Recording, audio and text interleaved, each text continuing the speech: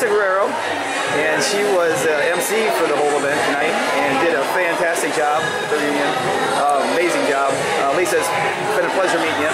Uh, kind of explain to us how you kind of got into the NFL cheerleading and um, what it's kind of done for you and really how it's impacted your life.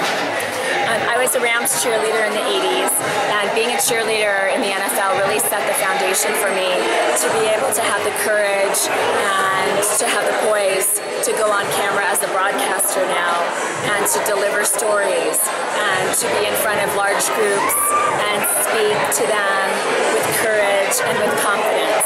So I think the number one thing that being an NFL cheerleader has done to me is to instill that ability to really confidently take a microphone and speak into it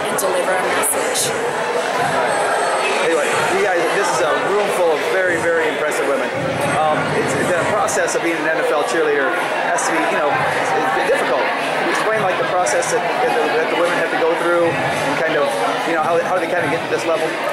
cheerleaders have different audition processes on different teams.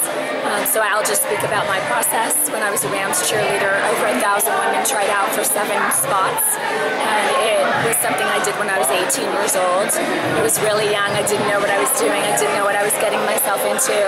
I was fortunate enough to make the squad. And it really changed the trajectory of my life.